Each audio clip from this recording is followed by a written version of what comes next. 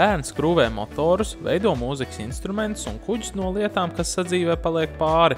Par pašu ideju stāsta Valmieras attīstības aģentūras projektu vadītāja Baiba Zvejniece. Mēs aicinājām ģimenes no vidzemes iesūtīt darbus, kas veidoti mūsdienu tehnoloģijās vai izmantojot otrais pārstrādātos materiālus.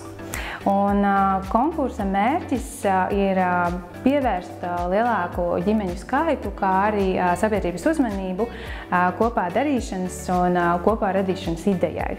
Kā arī parādīt sabiedrībai, ka ģimenes kopīgi darbojoties var radīt inovatīvas, ilgspējīgas un arī noderīgas lietas. Konkurss norisinājās no šā gada 14. septembra līdz 13. oktobrim sadarbībā ar Valmieras attīstības aģentūru, pilsētas pašvaldību un kopdars darbnīcu Dara. Valmieras kopdars darbnīca Dara ir vieta cilvēkiem, kur vēlas radoši izpausties. Tā ir vieta gan uzņēmējiem, gan arī ģimenēm ar bērniem. Mēs piedāvājam dažādas dažādas iekārtas, kuras var izmantot bez maksas un radīt dažādas interesantas, inovatīvas projektus. Konkursu uzvarētāji tika apbalvot dažādās nominācijās - noderīgākais, ģimeniskākais un radošākais darbs. Nominācijā Noderīgākais darbs konkursā uzvarēja ģimene, kur bērns brīvdienās apgūst tādas zināšanas, ko skolā nemāca. Mašīnām, jaucām, motoru. Skatījāmies, kas noticies. Tāds katru brīvdienu kaut kāds darbiņas atrodam. Jānis Brikmans, pavadot brīvdienas kopā ar bērnu dažādos darbiņos, nemaz nezināja par konkursu un dalību tajā. Par konkursu uzzināju no sievas, kad paziņoja, ka jābrauc pēc balvas. Pat ātrāk nezināju, kad ir sieva ar vecāko bērnu sasūtījis video un bildes uz konkursu. Bērns liek strādāt. Man tā kā brīvdienās pat gribētos atpūsties, bet bērns grib kaut ko darīt. Jāiet un jādara. Savukārt nominācijā ģimeniskākais darbs tiek apbalvota Možilo ģimene ar muzikālo izgudrojumu. Un tad, kad bija šis, te, šis te projekts, tad es vīram saku, saku, kas mums tāds ir? Vīrs nodarbojas ar lauksaimniecību un, un ar lopkopību. Un tad, protams, ir šie skābarības ruļi, ko tīna, un, un tur iekšā ir tāds kartona čauls. Viņš saka, mums jau viņas ir nenormāli daudz. Saka, ved šurp, un tad mēs varam uh, izmantot kaut kā. Un mēs ļāvām meitenēm gan, gan pašām piedalīties skrūvēšanā, gan griešanā, gan krāsošanā. Tāda kombinzona mums ir tāda, kas ir apkrāsot no visām malām, bet, bet bērniem ir prieks un viņiem patīk. Mēs patiesībā to laiku, ko mēs pavadām visi pieci kopā, mēs arī mēģinām tādās jēgpilnās aktivitātēs. Santa Mažilo lepojas ar paveikto un stāsta, ka jau interesanti šim mūzikas instrumentam ir. Bet uz šo projektu jau ir, mums ir pieteicies bērndārs, kas gribētu labprāt izrotēt cauri visām grupām šo te demo materiālu. Kur citi redz parastus kartona gabalus, rullīšus un kastītes, Ansis Brinkmans ar savu radošumu izveidojis ir kuģi. Viņš ir no kartona, te ir rullīši, šitā bija kaut kāda liela olu kaste. Šajā priekšā es pats uztaisīju, man palīdzēja Vindas skolotāja. Te ir tāds karodziņš no kaut kāda pasākuma, es sagriezu, sataisīju. Te ir salmiņš, ko es mājās atradu. Sataisīju, nu, nokrāsoju arī pats. Ansim Brinkmanim palīdzēja arī viņu vecmāmiņa. Vecāmā man palīdzēja izgriezt šitās visas tās formas, mēs abi mērījām kopā un tā. Es pats salīmēju visus šos kopā, un palīdzēju atrast kastītes. Par konkursu Ansis Brinkmanis uzzināja jauniešu centrā Vinda Pulciņā, un tā veidošana viņam prasījusi divas dienas. Kūģa izgatavošana sākās Ansim apmeklējot Vindas Pulciņa tehniskais radošums, kur skolotāja izstāstīja par jūsu organizēto konkursu. Viņi bija iesākuši izgatavot to darbiņu, un tad mājās ar vecās mammas palīdzību Ants pabeidz taisīt. Iedomājoties, ka bērns var izaugt par mehāniķu, mūziķu vai inženieri, pateicoties šādam konkursam, būtu patiesi liels prieks. Galvenais tomēr ir kopā pavadītais laiks ar ģimeni, nevis iegūtā balva.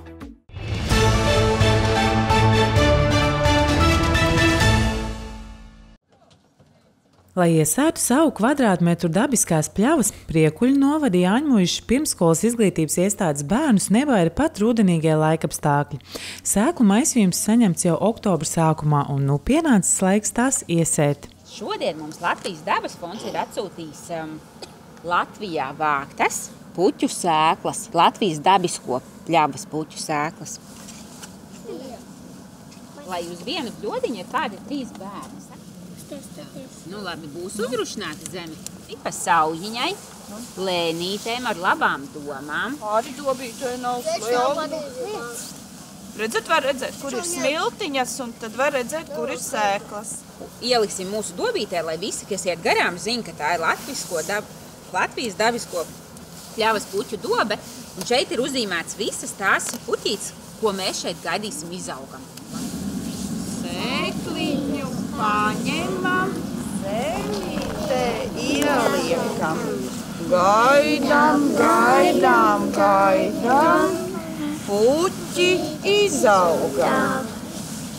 Izauga puķīte, uzplauka puķīte. Ja puķītes grib audzēt, tad ir ā, noņem no zāra un iesaisties draudiņi un tad izaug puķes. Kādas pļaus puķis jūs zinat? Es zinu, tīpenes, tie, pie, piepenes. Es vēl magones, madones, violītes, violītes. Kas bija tāds dzeltenās, tās, ko tēju? Gāju. Piedēdes. Nē, kam tās bikses? Garšīga tēja. Gaidanītes. Gāļu bikši. Gāju piksītes. Degus. Zegus puķīte. Deguzīšu kurpītes. Jāņmužas bērnu dārza piektās grupas bērni ir pieraduši pie aktivitātēm ārtelpās, jo svaigā gaisā dodas ne tikai ikdienas pastaigās, bet apgūst arī dažādas mācību jomas. Audzinātāja Ieva Arai stāsta, arī pļavas puķu dobas sēšanai bērni īpaši gatavojās. Mēs jau noskaidrojām, ko bērni jau par to zina. Kā jau arī iepriekš, kas, kas ir tā dabiskā pļava, kas tur aug. Arī, nu, kāpēc tādas ir vajadzīgas, par to mēs izrunājām. Un arī sīkāk iepazināmies ar eh, pļavā augošajiem ziediem puķītēm. Un arī iesēšana jau viss tikai sākās. Pavasarī un vasarā plānots detalizētāk pētīt, kuras no puķiem ir izdīgušas un kuras nē. Tā mācot bērniem gan zinību par pļavā sastopamām puķēm, gan to, kuras no tām izmantojamas veselības uzlabošanai. Bērndārzā cer, ka pļavas puķu dobi augs plašumā, un ar gadiem šeit būs jau vairāk nekā tikai viens kvadrātmetrs dabiskās pļavas. Bērniem nu, ieaudzina pārliecību, ka katrs mūsu mazais solis nav nenozīmīgs, bet ļoti vērtīgs. Ka, jā, varbūt šī nav liela pļava, bet tas ir sākums, lai tāda pļava rastos. Un bērns, kas jau no bērnības iet dabā ar cieņpilnu attieksmi, audzējošu attieksmi, ar mīlestību un vērtību, tādu vērīgumu arī, viņš um, katru savu darbību saskaņos ar šīm vērtībām. Ne tikai Latvijā, bet visā Eiropā ir vērojama dabas daudzveidības samazināšanās, un tā ir problēma, par kuru ir jārunā. Jāņmužas bērngārzā pauž pārliecību. Tieši bērni ir tie, kas Latvijas dabas vērtības nodod tālāk vispirms saviem vecākiem, vienaudžiem, kur jau turpina rīkoties saskaņā ar dabu. Elīna Upīte, Emats Masakovskis ir ETV.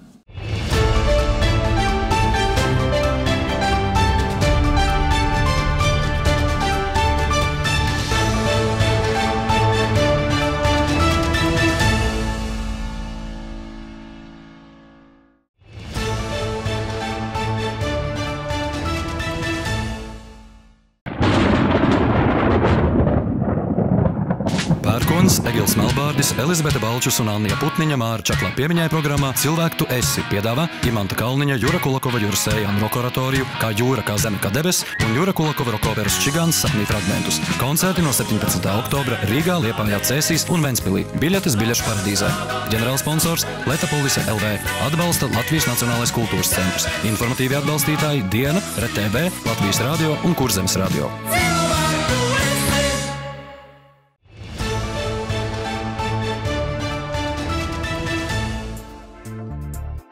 Sijā VTU Valmiera informē, ka Valmieras pilsētas 12. maršruta autobusam no 1. novembra būs mainīts kursēšanas maršruts pēc pieturas Purviela, nākamā pietura būs Viesturs skola, bet pēc tam Brīvības iela. Saraksts skatāms uzņēmuma mājaslapā vtu-valmiera.lv. Sijā VTU Valmiera informē, ka no 1. novembra tiks slēgti sezonas maršruti. Valmiera, Branguli, Pūpoli, Valmiera, pulksten 8.30 un pulksten 16.40. Reisa izpilda sestdienās.